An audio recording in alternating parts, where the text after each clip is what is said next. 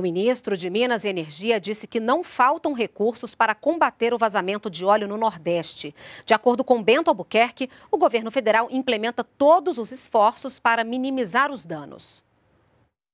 O governo está fazendo tudo o que lhe compete né, para é, minimizar os danos né, e fazendo uma investigação séria para tentar descobrir a origem, isso é muito importante, mas o mais importante agora é minimizar os danos. Né? Ele está também adotando algumas políticas públicas em defesa, por exemplo, dos pescadores no Nordeste e prestando todo é, o apoio aos governos estaduais e municipais, através dos seus órgãos.